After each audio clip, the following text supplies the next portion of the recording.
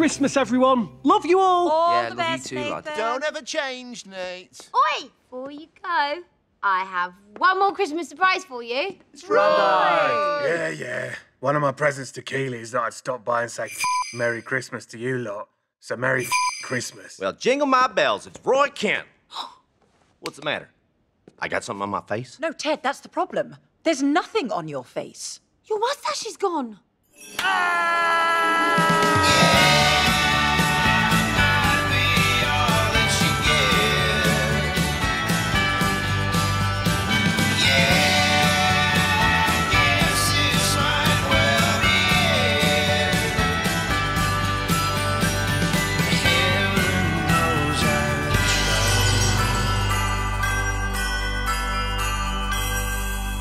Quick, anyone got a mirror? Here you go, coach. I've always got a mirror. Oh, no. I'm supposed to FaceTime with Henry in an hour. He won't recognize me without my mustache. It's gonna ruin Christmas. Don't worry, Ted. We're on it. Everyone, split up and find that snot mop.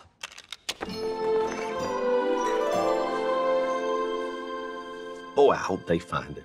I really want this Christmas to be perfect. Sorry, Ted. We looked everywhere. Yes, I searched every inch of the Royal Opera House. It weren't in Ted's car. But I don't have a car, Jamie. Then it wasn't in the person's car whose window I just smashed with a rock. People, we don't need to find Ted's moustache. We need to catch it. I built the trap and baited it with a moustache's favourite things crumbs, a small comb, and a tiny bit of pomade.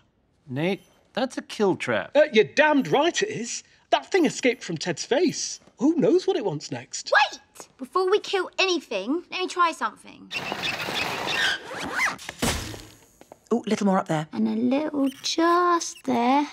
And presto! Oh, I love it. Well, I don't know, guys. It's not really me, you know? Looks more like Clark Gable or John Waters. Allow me. Why do you have a disguise kit? Why don't you? That's amazing. Looks just like I him. think you look fantastic. Agree to agree, but the whole point is for Henry to recognize me. Right, forgot the objective. Yowzer! Oi, you need a tash. Here. Whoa! I look like Detroit Tigers superfan Magnum PI. But even though this feels like I'm kissing your forehead, it ain't me, Roy.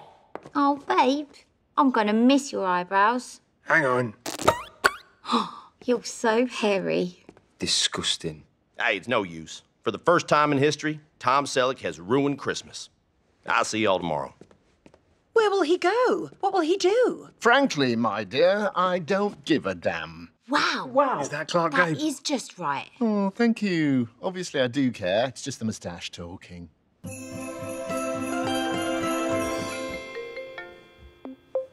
love you, Ted. Hey, guys. Sorry I was being such a straight, white, cisgender male version of the Grinch earlier. Which I guess is just Ebenezer Scrooge. Oh, Don't be silly, Ted. about that. But I realize not having my mustache, it ain't the end of the world. Because it's not about making Christmas perfect for the people you love. It's the people you love that make Christmas perfect. That is amazing. I can't believe my eyes. Uh oh. What's wrong now? Your mustache is back. Hot dog, eggnog. Uh oh, that's Henry. I'll see y'all later. Good luck, Ted. Back to sexy Christmas. Merry Christmas, Dad. You look great. Thanks, buddy. I actually just shaved. You know what? One second, big guy. Hey, everyone. Have a perfect Christmas. I mean, an imperfect Christmas. Because it's the imperfections that make it, well, I mean, you get it. You saw what we're going for, right? Uh oh. Is it snowing in my apartment? Oh, that's weird.